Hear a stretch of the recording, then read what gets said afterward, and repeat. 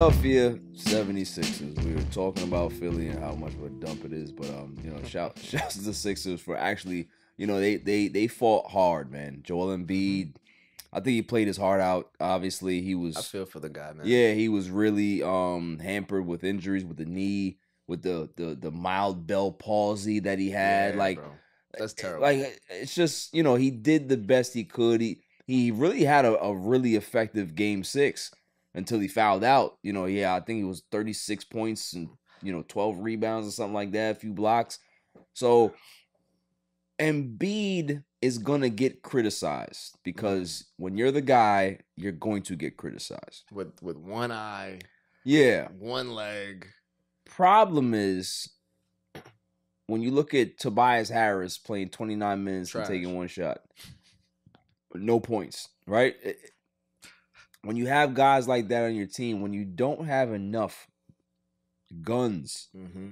Kyle Lowry's old. Shout out to Maxey. You know, Tyrese Maxey is- a young player in this league, but I I don't think that he's there yet Mm-hmm. to be able to He's pushing it. yeah to kind of like take the series over. He he's getting there. Mm-hmm. but he it's just not there yet. You know what I mean? The margin of error in this series, yeah, Knicks one and six, but I think the point differential, Yeah. the point differential between the two teams, you know, it was one, it was one point. between all of the games, right? Yes, one point. It's crazy. What a Great st- series. Yeah. So, what's in store? or What's next for the Philadelphia 76ers? I think Come to New I York, think- baby. I think they have a lot. They have a lot of um of thinking to do.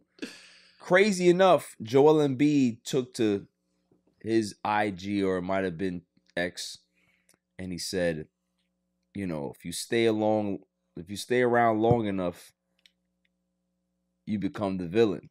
Hmm.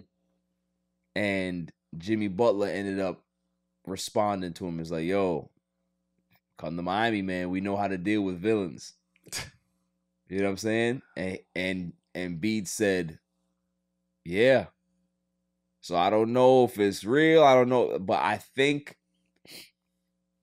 there may be a situation where we don't see Embiid in Philadelphia anymore. I think it's time for him to maybe leave because I agree. I don't think that he can carry a franchise anymore. He's one of those guys that he, he's so banged up that he needs a Jimmy Butler. He Mm. needs somebody to be that 1A, Okay. to be able to take over games when he's not at his best. Right? So if Joel Embiid is giving you his game and, and he's doing his thing, if his game kind of wanes because of attrition, at least you got a Jimmy Butler. At least Right. you got somebody else that can be able to shoulder the load and be able to help him. You know what I mean?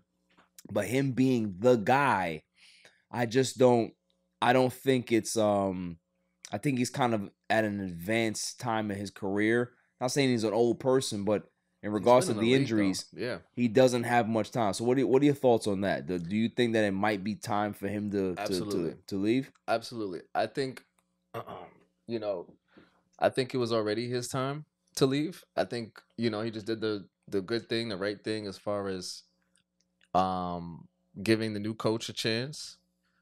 But um I think moving forward, yeah, he should definitely take a look around and see, you know, see what's out there.